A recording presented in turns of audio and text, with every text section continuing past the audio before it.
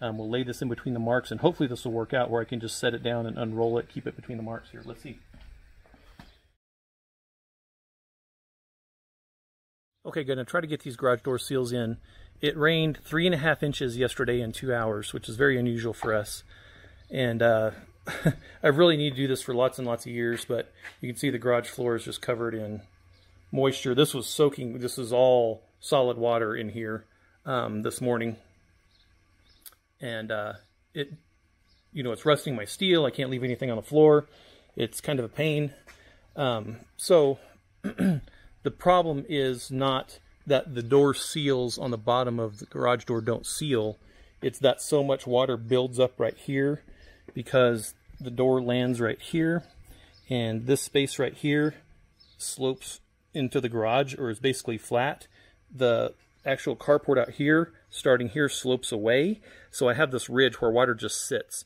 And even if it's a light rain, water comes flooding in. So snow melt, if the snow builds up here and, and melts in the winter, it ends up in the garage. So we're just going to get these seals in.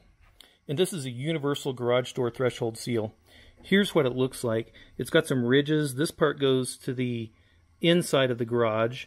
This line, I'll show you where we're going to line that up uh, when we go to install it. This is what your actual door closes against, this right here, okay? So here's a better picture of it right here.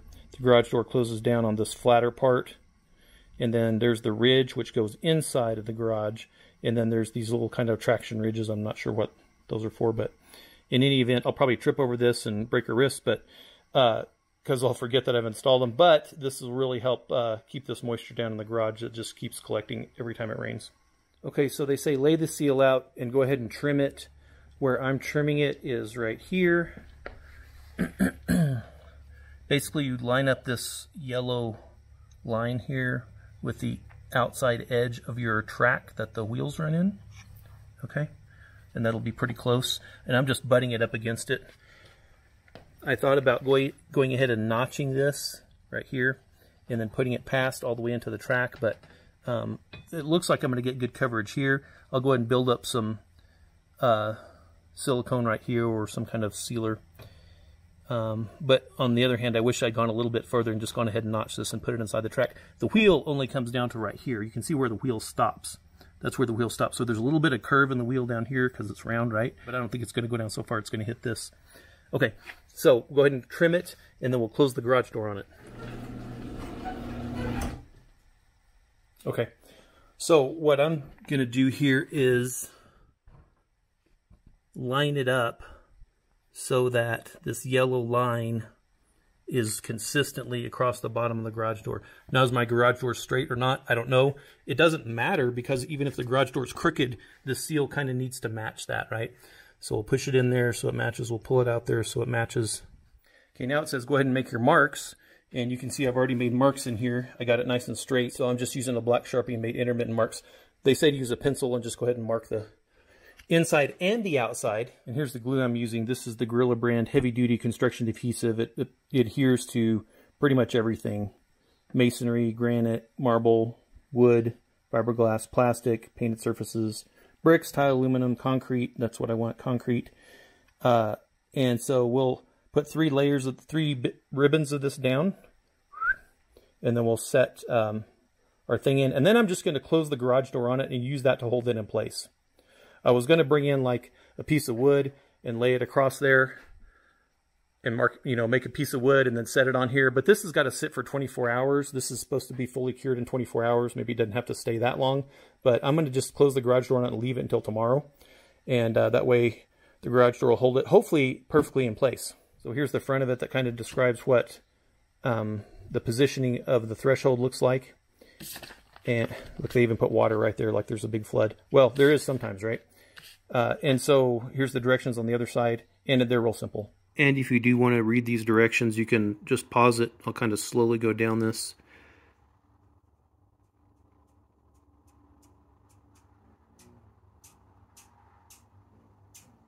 So obviously I swept this with the broom. Um, I even wiped it down with MEK um, just to make sure there was no oil on the cement. And uh, I'm just going to slide this back over here. If you flip this over, it just wants to roll back up. So And it might be a good idea to, you know, keep it inside uh, where it's not cold or set it out in the sun before you do it so it, it evenly heats up because this is very soft over here where it's sitting in the sun. This over here in the shade, you can still see it's curled up and I can't get it to straighten out, so I might have to hold that in place with my hand before we get the garage door down on it. Okay, that took exactly one tube to do three lines for this threshold. Okay, so basically I just rolled this up backwards. This is the garage side.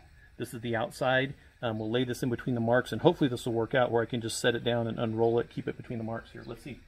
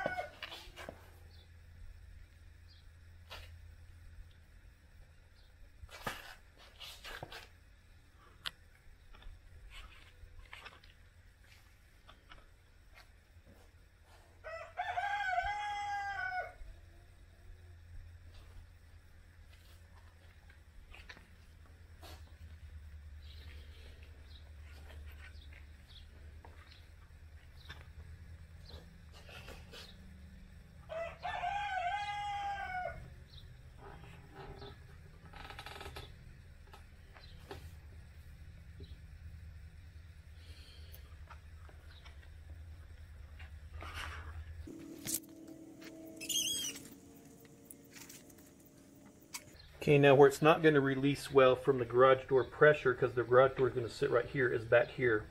So I'm going to go ahead and just make sure that gets spread evenly.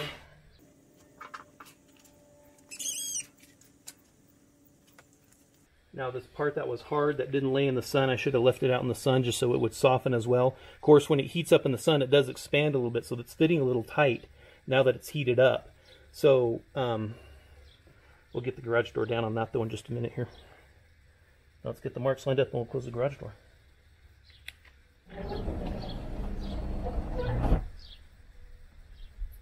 Now I'm going to go inside and push down the garage door so it closes The yellow line's mostly in line. A um, little bit off by like a millimeter or two here and there, but I think I'm just going to leave it. All right. It's been 24 hours. Let's see what this looks like. Seems to have stayed in place. You know, now looking at this, I do wish I had split this right here and put this further up and further up inside of here. And then maybe just build up some sealant around here as well to keep it from water from encroaching around right here as well. but I did run a silicone bead yesterday afternoon, just a real thin one that I just kind of spread with my finger just to keep water from going up underneath it. But right now, oh, that's really strong. I can't lift that up. Okay, and then for 24 hours, this Gorilla heavy duty adhesive, you know, was hard on the outside. It's still a little squishy. Um, I assume that'll harden up. I don't have any along that edge, but it's going to stay in place. Well, if I have any problems with the sealant, I'll put a follow-up video, a link at the end of this video, and let you know. Okay, that door we did the other day, this door I just did. And my notching idea was sort of a fail because you can see I notched it right on the yellow line and I put that yellow line right in line with the edge of the track right there. And that was way off. So when I closed the door, the seal was actually hitting directly on top and the seal's supposed to hit right here. So when we look up at the seal here, you can see the seal here um, runs well away from this edge. So that should have been just fine. But this door, when it gets down to the bottom for some reason, this, um, I guess there's some play here. So this door actually ends up going like this when it's down at the bottom. So anyway, I wish I'd paid attention to that better So I guess just see maybe what I'd do in the future because you don't know exactly where the door is going to close and end up. Um, close the door before you do anything. Draw a line directly down from the back of the seal so you know exactly where the seal's hitting and see where that ends up on the two, or at least on the two edges. See where the seal ends up, and then keep that in mind when you go to cut your piece so that the door seal itself hits in the right spot.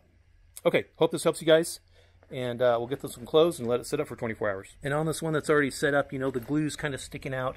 I guess I could go back and trim that off. Um, once you put your door down and your door goes down and hits this outer edge, right? Not the crown, but the outer edge, and pushes it down. If it has enough downward force, um, it will disperse the glue, right? It'll help squish the glue out. So there won't be, this uh, edge won't be sticking up above the concrete. You want to make sure that this back edge isn't sticking up either so maybe um, close the door on it and then take the butt end of a screwdriver or something or some kind of roller and then just roll it along here, some kind of hard roller. I don't know what though. Um, and then just roll it on just to make the glue gets dispersed back there.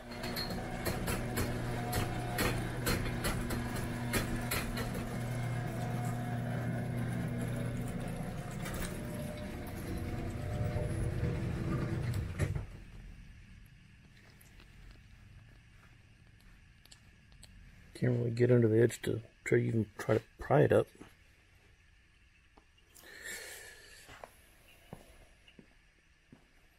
I'm going to go ahead and put a little sealant around here just to keep water from encroaching through there.